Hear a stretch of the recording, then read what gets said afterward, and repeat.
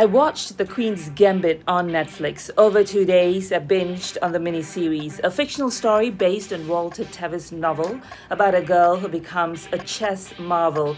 Often at eight, she's taught the game by the janitor in a basement, her start to fame. And there begins a quest to be the world's greatest, but struggles with emotions and addiction to substance. Both actresses who played Beth Harmon put me in a spell, portrayed the obsessive and self assured character so well. Set in the 50s and 60s is another plus. Go and watch it. I insist you absolutely must. Hmm. I might have to go look for the book now.